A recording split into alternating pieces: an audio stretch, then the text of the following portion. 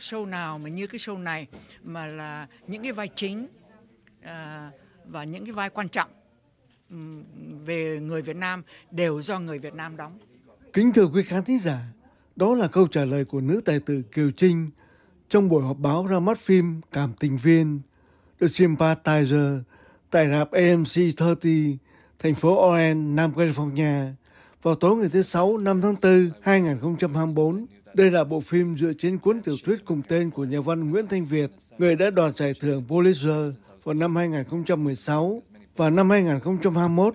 Hệ thống truyền hình HBO đã chọn cuốn tiểu thuyết này làm thành bộ phim dài 7 tập, mỗi tập dài một tiếng đồng hồ.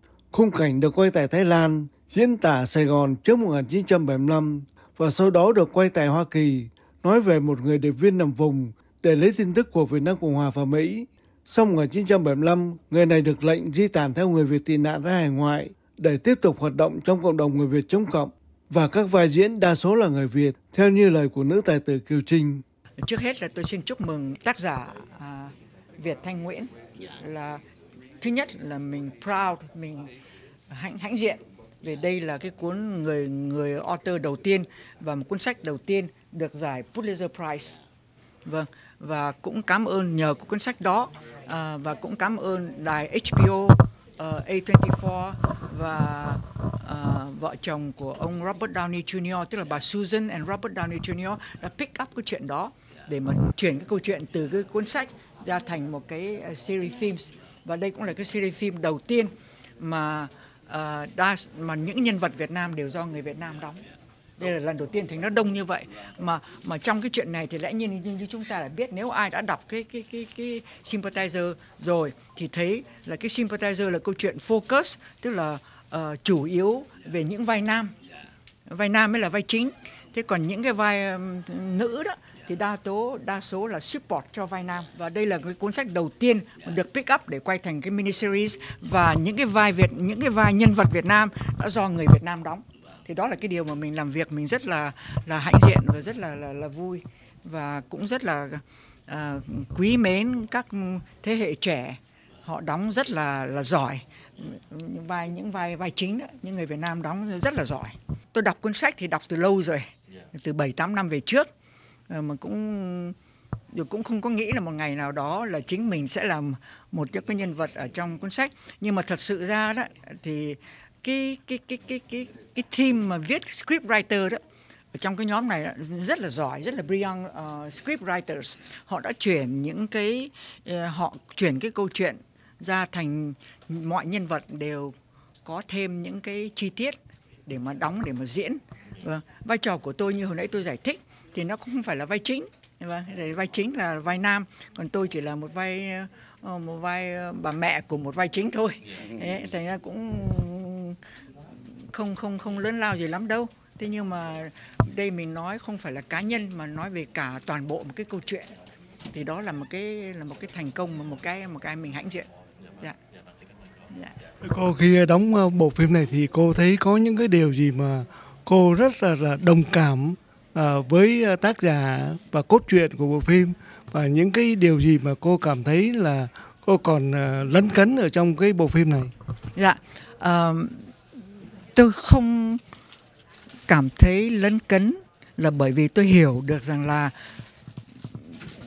từ bao nhiêu năm nay lịch sử đã chứng minh rằng là những cái cốt truyện lớn lao trên thế giới khi mà chuyển từ uh, giấy trắng mực đen lên màn ảnh nó đều không có exact the same mình kể cả những cái những cái bộ phim lớn như là War and Peace của Leon Tolstoy hoặc là Dr. Zhivago chẳng hạn từ cái cuốn truyện mình đọc mà sang tới cái phim nó cũng khác nhau nhưng bởi vì uh, phim ảnh nó cũng đòi hỏi những cái audience thành ra những cái người làm phim đó họ cũng phải ừ,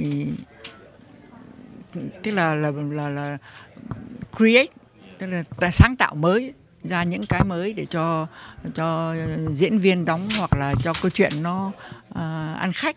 Và thì cái này cũng thế. Vâng.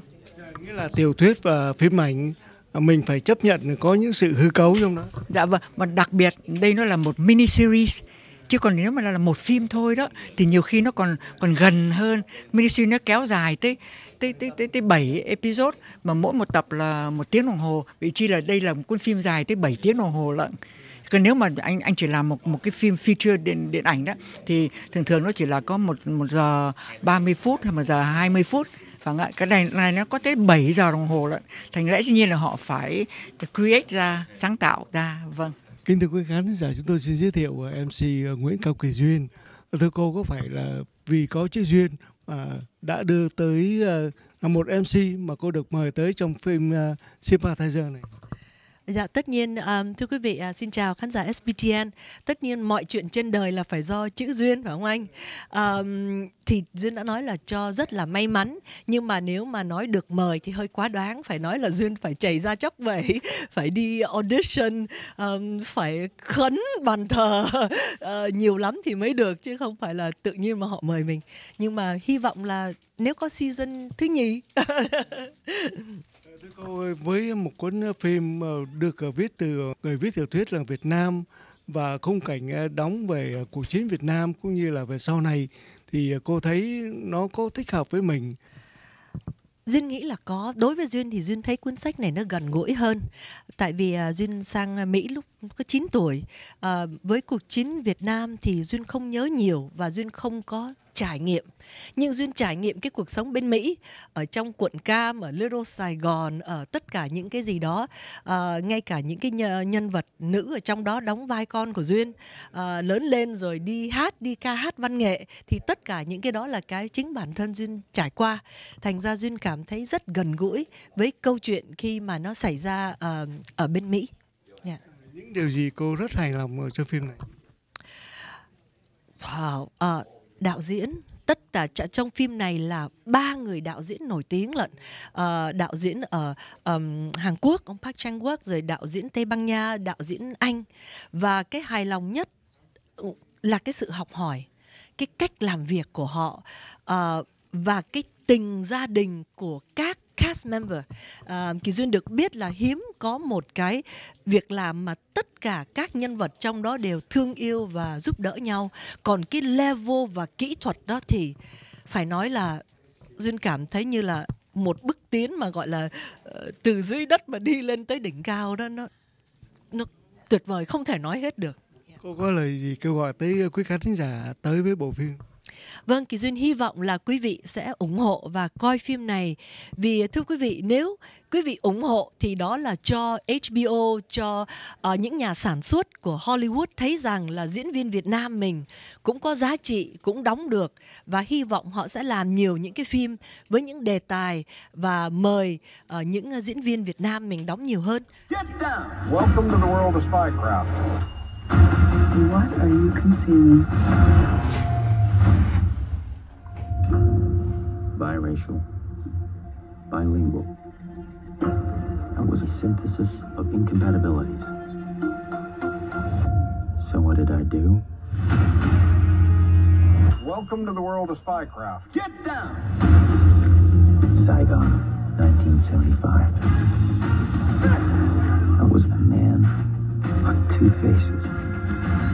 You are the only one I can trust. The war was ending. Yo! And I awaited my new assignment. My protege. Jesus. So where are we going?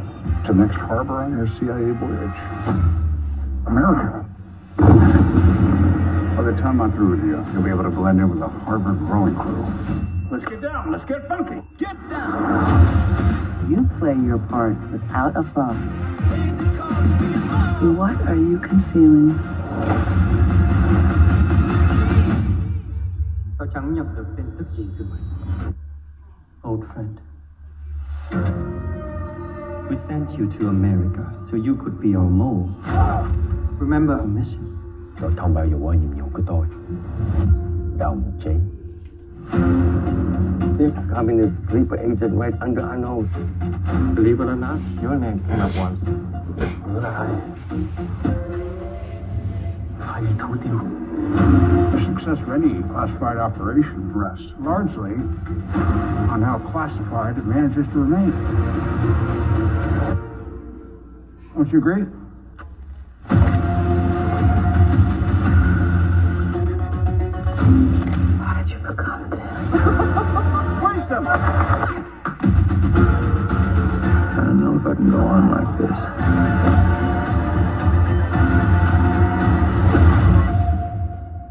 Tìm được cách.